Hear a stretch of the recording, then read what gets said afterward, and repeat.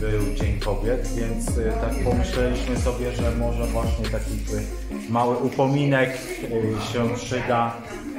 Bardzo e, dziękujemy. Robimy ten tak zwany szwedzki bufet, Tak,